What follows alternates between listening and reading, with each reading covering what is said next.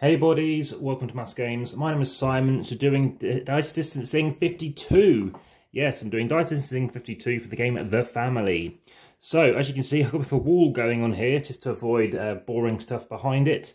Uh, these games do not have dice, so they're just mocking uh, the Dice Distancing right now, but we do have other games ready to go with Dice Distancing.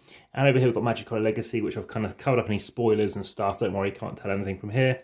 And that is also going a review done for it very soon similar for the expansion for this, as well as some more games as well. These ones you can already check out. There will be some, obviously, pings coming through, giving you suggestions exactly to show you how to play these games, how to set up Play Review, and you can find the How to Set Up Play Review channel uh, playlist. You can also find the dice distancing for this, how far does this roll compared to all other 51 prior to it right now. This is in 4K. Please like, subscribe, hit the notification bell, and via the description on Patreon, you can support the channel. Also follow via Instagram, over 2,300 posts, and via Linktree, you can head through to Facebook, and there are occasionally giveaways as well. So let's see how far this rolls.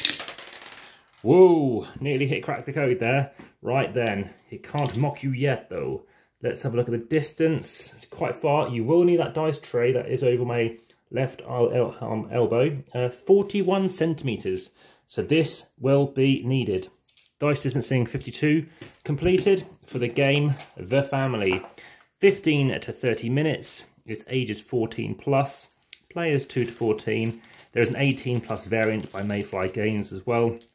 And you can play without it involving certain stuff in a sauna and hot tub. Okay, well, thank you very much for watching. There will be another one coming very soon. Again, uh, if you enjoy this, make sure you keep checking back. There have been daily videos for a couple of years now, and you can check me out at the UK Games Expo as well. Speak to you then soon. Back to the table.